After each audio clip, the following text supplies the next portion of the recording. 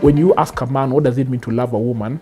He often thinks, what can I give so that she can give me back? Yeah. One of the ways to just connect with your wife or to connect with your woman emotionally is through conversation. Intentional conversation, intentional personalized conversation. That will start to build. It will it will be sta- stage one.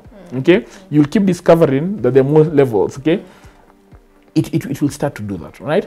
And now for the man, um, men want their women to be able to respect them. The best relationship is one where both partners are committed to give to one another. Hi everyone, how are you doing? This is Decoding the Process and of course I'm your host Martha Moraa and I'm so glad to be with you here today. Most glad and I don't know what to say, but I'm so happy to actually be hosting Mr. Ernest Wamboye and I know you guys probably know him and for those who don't, you're going to know him very shortly. Karibu sana.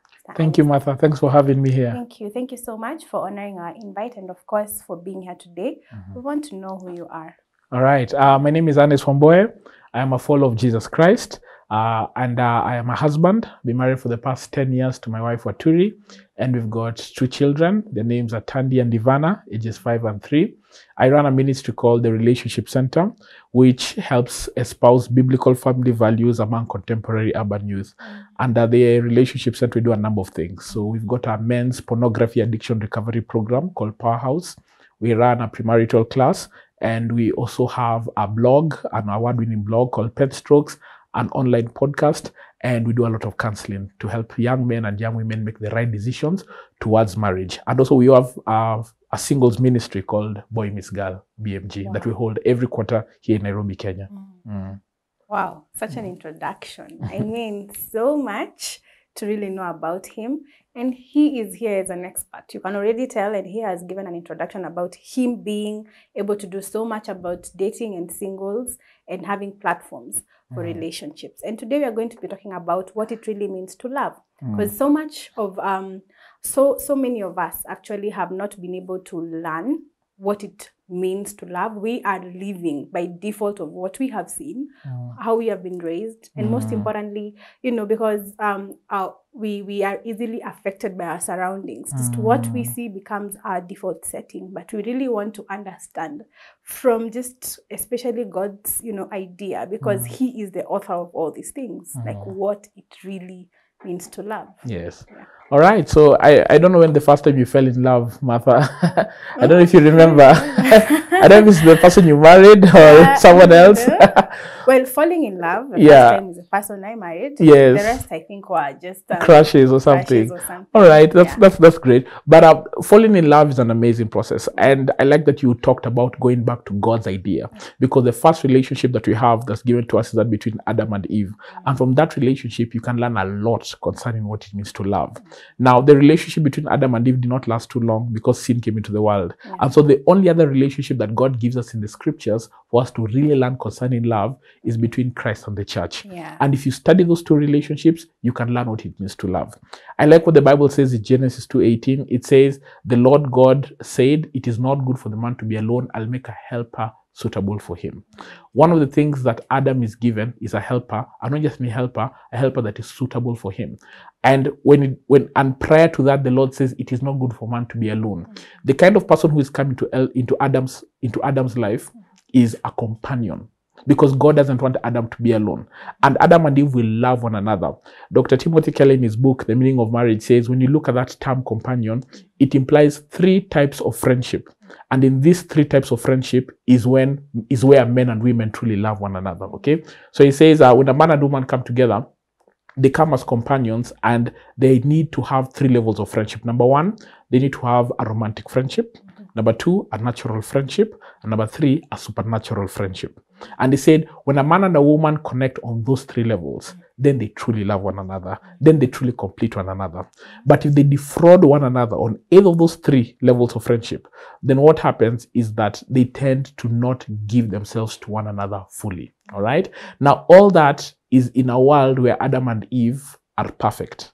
There is no sin in that world. Yeah. Okay. When sin comes into the world, despite having those three levels of friendship, and we'll look at them into detail, um, it, it makes things harder because prior to that, God gives Adam and Eve the opportunity to love one another, and they love one another sacrificially. They they they give themselves to one another.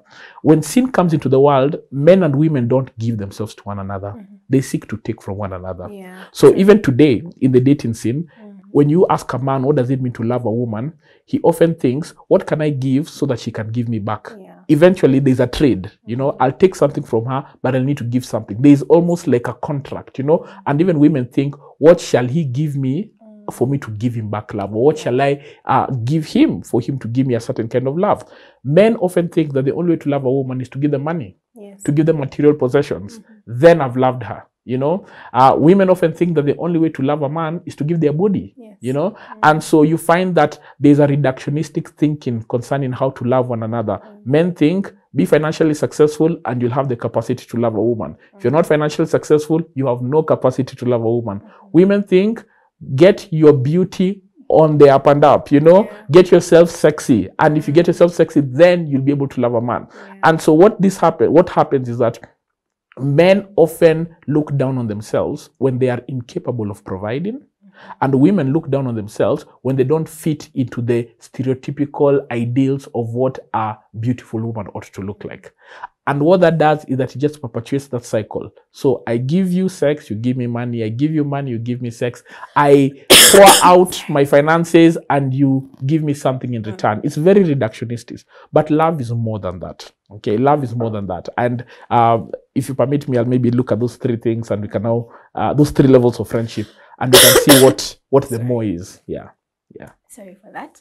I also wanted to really delve into the three levels Mhm. of friendship Mm. because I, I felt like they were very unique. Yes. I've actually never heard about supernatural friendship. Mm. mean, yeah maybe the natural a bit, yeah course, the romantic one. definitely But yeah, I would really want to hear more about that. all right so let's look at the three let's start with the supernatural so um the bible tells us in first thessalonians 5.23 that we are tripartite human beings what does that mean we are three in one okay uh you are not who you are seated on this chair that's not all that there is martha there's more to you you have a body which is seated right there on the chair but you also have a soul Yeah. your soul is your mind, your capacity to think, your will, your capacity to choose, and then there's your emotions, your capacity to feel. Okay, you feel emotion, you feel fear, worry, doubt, you feel love.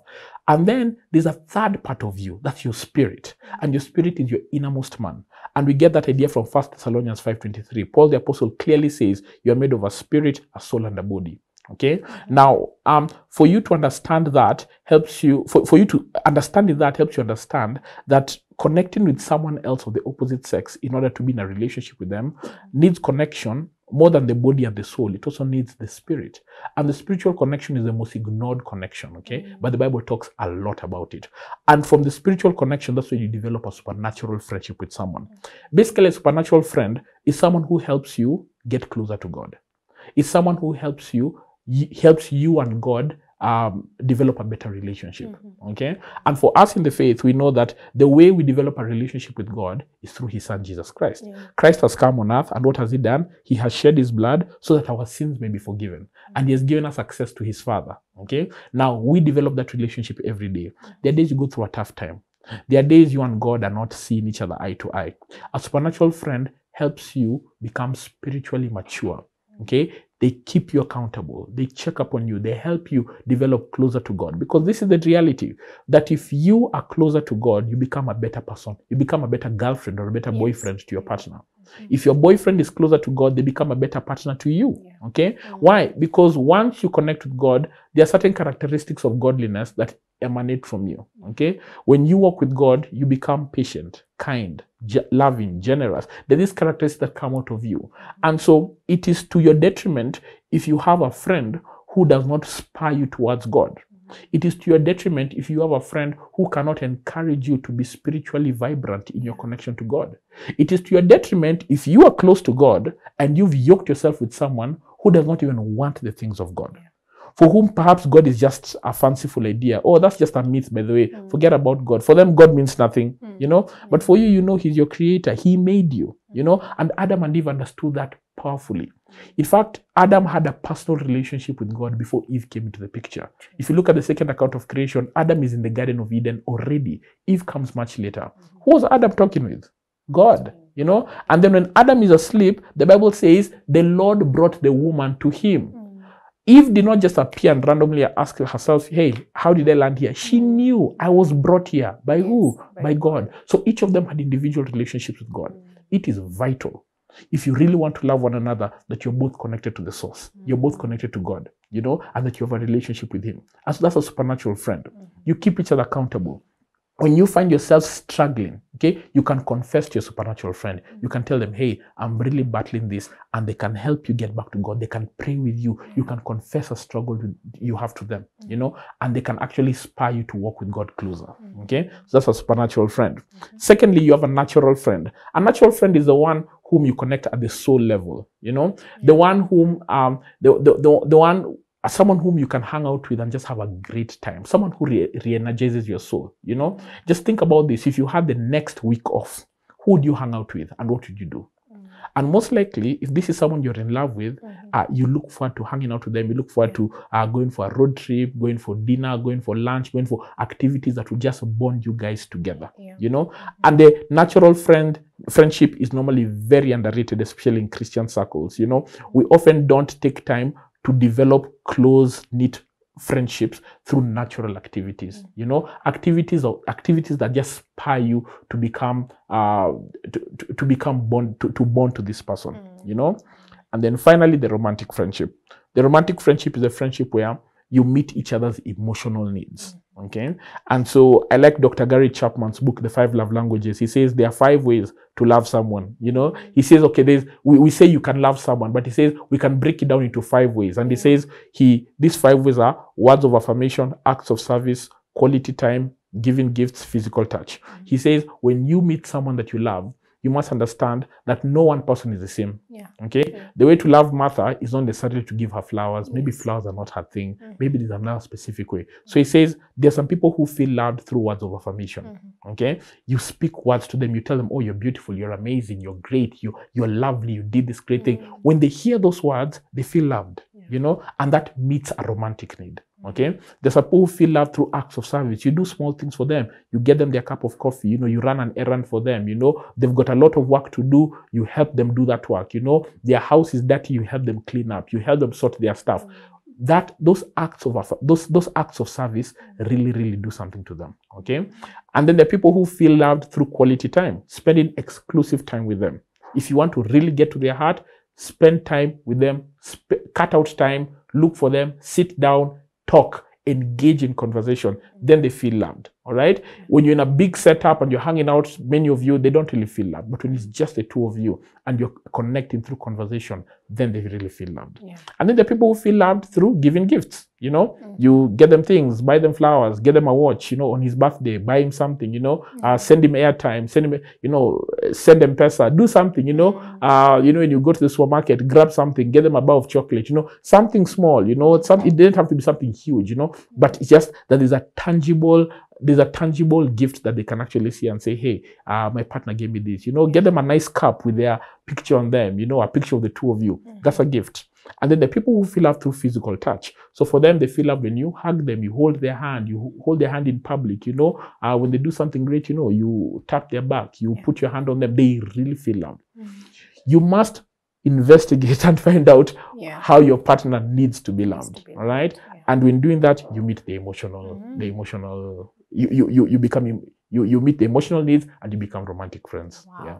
Wow, this is just amazing. So much information within a very few minutes. Mm. And, and uh, we want to discuss more about what it really means to love. Of course, we have been able to understand the three levels of friendship, Mm. which I've really, really loved. And of Mm. course, I really want to, before we really go for the break, the two natural and um, supernatural, we Mm. have defined them. Mm. But in a short while, can you really tell us how do we build those aspects of friendship? Because, you know, for romantic, you Mm. have already mentioned Mm. the languages of love Yes. and how we can easily get to understand Mm. the needs and meet them. Mm. Uh, we really want to understand how do we build On the, the natural, natural and the supernatural. even the supernatural. Okay, very good. So for the natural, one of the best things you can do is find out what excites your partner. What are the things that they do for fun to relax, to get their soul refreshed. Okay. For some people, it's perhaps just going for a hike. Mhm. Go for that hike with them. Mm. All right. You'll build your natural friendship. I'll give you, for example, maybe from my relationship with my wife. Mm. When my wife and I were dating in campus, my wife loved theater. you know and um I, I had never done theater, not even in high school, you know. But because she loved it, I said, let me try it out, you know. So I once went to the theater club, you know, mm-hmm. and I said I'd just sit and watch her act, you mm-hmm. know. And then they lacked a role, and the director said, Hey, you come try out this role, you know. And I was like, Me. So I went, I got the script and I read it, and the director said, Fantastic, you've been given the role. And I thought, What? I have never acted in my life. He told me, Now, don't worry, you are a natural, you'll do it. So we, we, we began acting the drama team together. We had so much fun. Wow. Okay. And so by just going to the theater club together, we really, really bonded. Mm-hmm. So you must not necessarily like your partner's activities, but if you indulge and try, who knows? You can connect with them. All right. Now, for me, on the other hand, um, I, I I love art. There's an artwork that I do called origami. You know, mm. so she, my my wife does not really necessarily like it, but when I make it, she admires it. She loves it. You mm. know, she she she looks for those art pieces. What are those natural activities that excite your spouse? It could be a hike. It could be going for a drive. Mm. It could be going for a picnic. You know, but the things that you can just do together that create memories. You know, that create memories. You know, uh, take a tour with some friends. You know, go you know go climb Mount Kenya. Put some money together. Do something. You know, and you don't have to have expensive activities, but money gives you options. Yes, All right. and then supernatural activity, supernatural friendship. One of the best ways to develop a supernatural friendship is one through praying together, Mm. taking time and just praying together as a couple. Mm. That really bonds your supernatural friendship. Secondly, reading the Word of God together, spending time to just read and study the Word of God mm. together. That really bonds you. And then thirdly, really opening up your heart concerning your struggles and your need for God and mm. fellowshipping together. You know, just being very open to someone and telling them your areas of need and having them hear you out and fellowship with you. That can really bond you two together. And those supernatural friendships and the natural friendship will they'll grow. Yeah, they'll be bonded. Wow. So are you building your friendship or are you just romanticizing? I mean, that is what many people indulge in. It's true. Many people only focus on the romantic. they Romantic forget about the rest. Yeah. yeah, but I love what one coach has. I've ever heard one coach say that um, it's better to really look for a spouse from your friends than getting your spouse and try to make them your friend. I agree. Sometimes hundred it's, it's, it's much better if you get to grow in Mm. friendship and now develop the romantic part because I feel like if you start with the romantic part, Yeah. it's harder to really develop the Yeah. natural Marry your friend. yes, marry your friend. So Yeah. wow, that's uh, how we can uh, get this far. And I believe you'll join us right after the break. We are coming back. Here we see a woman whose husband is dead, who's she really does not have an idea what what next for my life. But does she stop? No, she doesn't. Her tenacity, her resilience played good, and she was seen, she was located. Don't put a pause into your life. Even when life knocks you hard, keep on working. Keep on moving because God is figuring it out. Welcome back, guys. Of course, we have been having an amazing discussion on what it really means to love. So, we have discussed a lot, a lot in the first segment, which I believe you have been through it. And as we get to this point, we want to really be able to demystify something that he mentioned before, and which is very, I think people have never been able to really understand where where it it ends or where it begins because mm. we we end up getting confused and then relying on one side of it, which is Mm. expecting to be loved more than you Mm. expect to be giving out the love. Yeah. So we really want to understand how do we balance the, the Mm. fact that we are made to give, which Mm. of course is the ultimate goal of love, as God Mm. um even you know demonstrated it. Mm. But again, there's the need yes. to also be loved. Mean, that's why I'm really getting this person Yes. because Yeah. I would have stayed alone if Yeah. all was about giving. Yeah. So I'm getting to get this person because I Mm. still know there are things I Mm. want to to really Yeah. get to enjoy, Yeah. to really get a hold of Mm. when I'm with this person. All right. Yeah. So, um, the best relationship is one where both partners are committed to give to one another. Okay. What are they giving? So, the most basic human need for any human being, you know, it doesn't matter where you are, where you live, every human being has this need. Okay. The need for acceptance, the need for affirmation, and the need for appreciation. Okay. Every human being has those needs. Whatever relationship you are, the relationship between you and your dad, you mm. and your child, you and your friend, your, those three needs must be met for any relationship to function well. Mm. The need for acceptance, mm. the need for affirmation, and the need for appreciation. Now, in a romantic relationship, those needs are heightened. Okay, you want to know that you're accepted by your partner. Mm. You want to know that your partner has accepted you and has not accepted you and 10,000 other people. You mm-hmm. know, that you are not one amongst many other girlfriends, other. one amongst many other boyfriends. That is just you. Okay, mm. you've been accepted. The opposite of being accepted is being rejected. And rejection is one of the worst pains you can actually experience in a relationship. Okay. The second need is the need for affirmation. Everybody needs to know from their partner that they have value. Okay. Mm-hmm. And so they want to be affirmed. You want to hear you're beautiful. Mm-hmm. You know, you're, you're, you're handsome. You're great. You're an awesome guy. You know, you know, there's no boyfriend like you in the entire world. There's no girl like you in the entire world. That's affirming. And we want to be affirmed so that we know that our worth is recognized. That's a need. Every relationship has that need. And then finally, the need for appreciation. We want to know that our efforts are recognized. You know, when you do something, eh, when when when you spend the whole weekend preparing a wonderful meal for your husband mm. and he comes home he finds the home is clean the mm. meal is prepared you've you've you, you know you've really made it nicely for him you've you've done all these things for him and he just comes and goes like hey na nimechoka and then he goes to sleep you'd be like what I did all this for you. You know, mm. you want him to appreciate, to say thank you. Yes. Okay. The worst kind of pain, one of the apart from rejection, the opposite of, uh, of let's go to the first one. The, the opposite of being accepted is being rejected. Yes. Being rejected. The opposite of being affirmed is being insulted. Okay. When you're insulted by someone you love, that's very painful. Then thirdly, uh, the opposite of being of being appreciated is being taken for granted. So the worst pains in our life come from the opposite of being accepted, affirmed, and appreciated. That is being rejected, being insulted, being taken for granted. Yes. When you come into a relationship, the best relationship is when a man and a woman are giving those things to one another. Mm-hmm.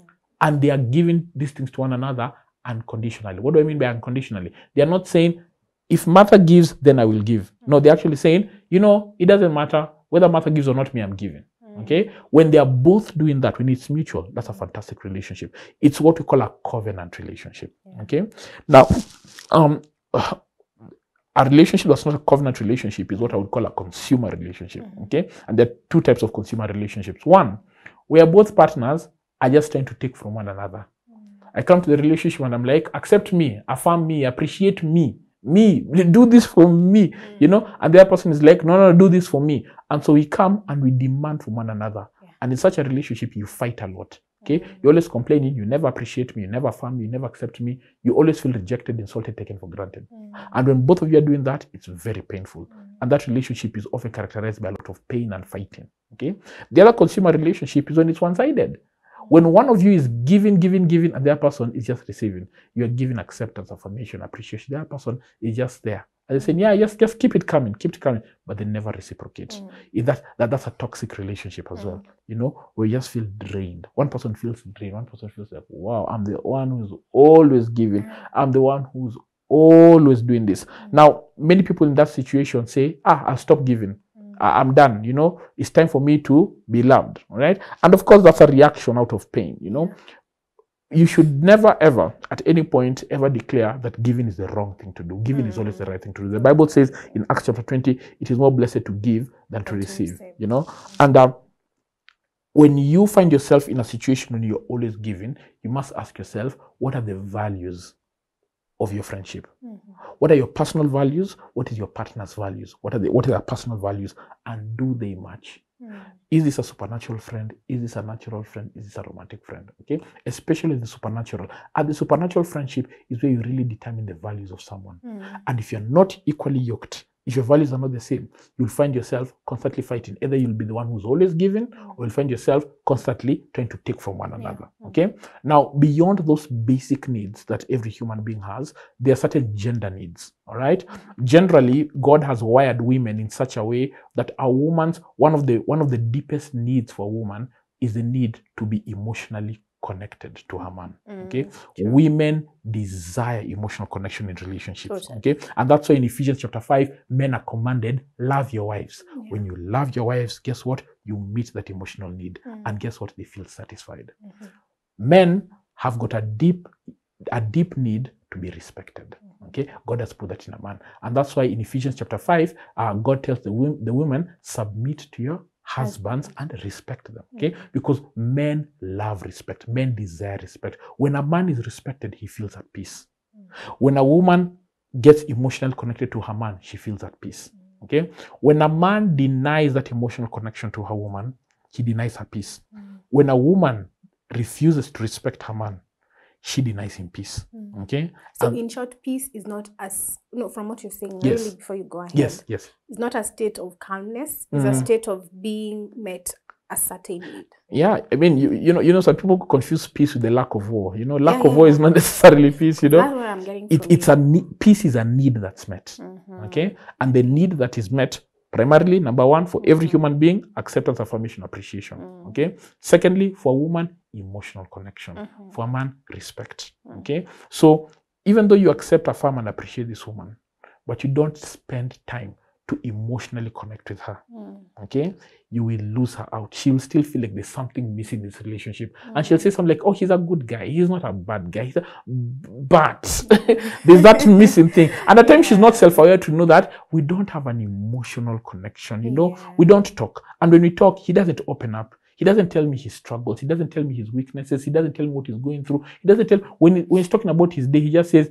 "Yeah, I woke up, I boarded a matatu, went to town, and I met my boss, and I fulfilled the assignments, and I came back home." The end. And she's like, Actually, that is even longer. "Yeah, you know that's long, eh? you know you exactly." She, she wants you to connect. She wants you to say, "Hey, you know, how was your day? You know, Mm. did you go through anything? Did you?" And that's why when a woman expresses herself, she Mm. expresses herself emotionally. She Mhm. says, Oh my goodness, I had such a tough time with this matatu Mm. driver. And then guess what? Imagine my colleagues at work are stressing me Mm. out. You know she's doing? Through conversation, she's trying to reach out. And this is the trick for men. When one of the ways to just connect with your wife or to connect with your woman emotionally is through conversation. Mm. Intentional conversation, Conversation. intentional personalized conversation. Yeah. That will start to build. It will it will be sta- stage one. Mm. Okay, you'll keep discovering that there are more levels. Okay, Mm. it, it, it will start to do that, right? And now for the man, um, men want their women to be able to respect them, all right? And one of the ways a woman can do that is to just recognize the efforts of a man, okay? Many a times, uh, women are, are women can be so committed to trying to help their men, you know, and in the process they criticize their efforts, and they think by criticizing their efforts they are spurring them. Or perhaps you've got a man who perhaps is not driven in a certain area, and you want to encourage him, you know, and you know you may say something that you know you think this will spur him up, this will, you know, like sasa wanaume wakiambiwa simame kweli watasimama, you know, and you're thinking now he'll be challenged, he'll be like ah no, no, he'll feel very disrespected, he'll be like, why are you talking to me like that? He won't stand up. He will mm. remain there and that will be a fight. Mm. But if you pull out i remember a woman who was um, i remember even those in fact the, the- best example is a clip that i saw going round mm-hmm. of this couple that uh, the man had the, the, the man i think the man's wife had died okay? Mm. And so he had children from his first marriage. He got married to this woman and so he had so now he came with these children and then now they had their own children okay? And the man's children for the first wife were not really respecting this new wife, you know. And this new wife was feeling like, you know, your children are indisciplined, what? So now she came and she started telling him, you know what? Your children, whom I did not bear, are not behaving. Eh? They are yours, they're not mine. Eh? Did I did I give birth to them? And that man was just put off. And I remember uh, her mom came and said, Listen, listen, okay, that's not how you communicated. This is how you communicated. I have a concern, Mm. you know, that the children your children, you know, whom I know want to be, whom I know you want to be great and successful men and women, are not turning out to be the men that you want them to be. Mm. And I know that you want them to be better men. I want them to be exactly like you. How about you pay attention to this? I tell them to clean up, they don't clean up. These are not the kind of men that are going to grow up in this home. Mm. I want them to be exactly like you. I need you to help me out with that. That man rises up immediately and goes to mm. help. You see, it's the same communication, but one has respect, one does not have Doesn't respect, one does not have regard. respect. So when you communicate with respect, you meet the need for a man. Mm. Okay. So relationships ought to be mutual, where you, the man and the woman, both give, okay, Yeah. and they meet those needs: acceptance, affirmation, respect, aff- affirmation, aff- acceptance, affirmation, appreciation, then respect for the man, And emotional for connection for the woman, love for the woman. Yeah, Uh, that relationship will flourish. I yeah. totally agree. They are very Mm. basic needs that we Mm. all need, and that is why we really need people around us. And we have been made like that, Yeah. never to really be alone. Mm. And you just said something, and I've just remembered. Of course, I'm a woman. Yeah. Uh, you know, saying that you need conversation. Mm. Um, I'm just, I'm just seeing the reality of things. If you don't talk intentionally to them, you will talk to them ultimately Yeah. By force of circumstances Mm. because now when it bottles up and Yes. then huyu msee amesema now it's worse You know, you'll not talk to them, you'll talk at them. So you yeah. talk at them. Yeah. So, and of course, when it comes to respect, I also feel like mostly comes out from the words we, Mm, you know, and the actions, Mm. especially the words. yeah. Because even as believers, I mean, the Bible is more speaking to marriage. Most of them have to tell any- you a tongue. If we can tame our tongues, if you can teach our tongues to have loving conversations, that yeah, our tongues can just really sort out. Yeah. And of course, trying to balance between speaking life. Because at Mm. this point, if I come complaining, what am I doing? In- ultimately, I'm trying to spiritually really block these people from being who they're supposed to be. Mm, Because I'm really saying who they are not, mm, while I should be saying who they are yeah. and what is really can really prevent them from being who they need to be. And you know, just to add some some some flesh onto that, you know, the the, the template I've given, uh, someone may say, Ernest, that sounds ideal, but you know, we- it really doesn't happen like that in my relationship. You know, Mm. I try to offer acceptance, affirmation, appreciation, respect, love, but things are rocky. That's because we live in a sinful world. Okay, Mm. and in a sinful world, you're tempted to give, but that consumer mindset constantly comes and claws back at you. Okay, Mm. so let me say a few things. One, if you find yourself constantly giving in a relationship Mhm. and the other person is not committed at all to meet your needs. Okay. Mhm. If you're not married, let me tell you, it's okay to leave. Okay. Mm. Some breakups are breakthroughs. okay. Some breakups are breakthroughs. You know, don't whatever, whatever, whatever teaspoons you get in dating, Mm. you'll get bucketfuls in marriage. Yes. Always extrapolate. true. Okay. Whatever cupfuls you're getting in, in, in dating, you will get boatloads in Mm. marriage. All right. Yeah. Secondly, you must not easily give up on a relationship simply because you face a tough time. Mhm. Okay, you must understand that because we live in a sinful world, the natural desire is not to give, is to take. Mm. Okay, and so when a man meets a woman, uh, and a woman, when, when a man and a woman meet, the natural desire is to meet my needs first. Okay, Mm. and part of being a believer Mm. is dying to self. Yes. Dying to self means that when I'm in a relationship with this woman, I actually ask myself, what do they need first? I have to intentionally ask myself. I should not think that I will naturally give. It won't come naturally. The sinful nature in me, the first thing it wants is what do I want? Mm. And so I must consciously tell myself whenever I'm about to meet my girlfriend, whenever I'm about to meet my boyfriend, whenever I'm about to meet my spouse, what do they want? What can I do for them? And when you do that, you will spur them to also do the same. Sure, Okay. sure. The worst kind of relationship is where you're waiting to be served. Mhm. We're saying, I will only serve until they serve me. Yeah. The best kind of relationship is that when you wait while serving, you're actually serving this person and then they are serving you in return. Mm. Okay. If you get into a situation where you find yourself uh, constantly, you know, serving this person and they're not serving back, of course, that's horrible. Okay. But you'll be surprised many times when you offer yourself, you know, they will also offer themselves back. Mm. Wow, yeah. it reminds me of the word again. When it says give and it shall be given to you. Yes. Pressed down, shaken, A good measure together. poured good into your lap. All Mm. of it. I feel like it's the same. It's not all about atikupeana kwa church. You know, people Mm. think it's all about that. Mm, But I feel it will also repl- apply in relationships. mm, Like the more you give, the more Mm. you even get in return. As Mm. long as it's a healthy relationship, mm. that should be the um, ultimate Yes. result. Yes. People think that the more they get, the more they will keep on getting. But it's the more you invest, the Mm. more you reap what you sow. That's true. Wow, amazing. So maybe in a few seconds, you can just give your conclusive remarks on this because Mm. um, we are short of time, but not short of knowledge. I mean, there's so much to really say about this. Yes. And personally, I'm getting a lot from this, and I hope you are as well. This is Mm. all for you guys. So Yeah. Yeah. So in summary, I'll say die to self. Okay, die to self. Let the nature in you uh, that that is constantly fighting to be fast be last. Okay, and the way to do that is by considering what Christ did on the cross. Christ gave Himself. You can love without giving, but you can you can give without loving, but you cannot love without giving. yes. And so you have to die to self in order to love as Christ loved the church. Mm. Yeah. Wow.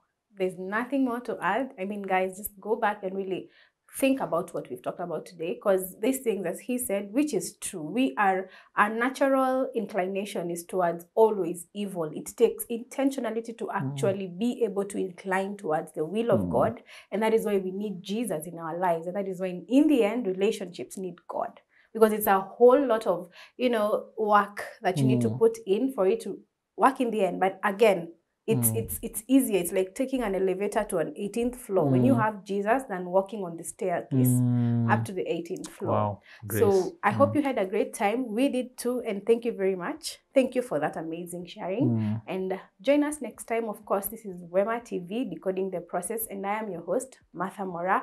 I hope you have an amazing evening. Thank you.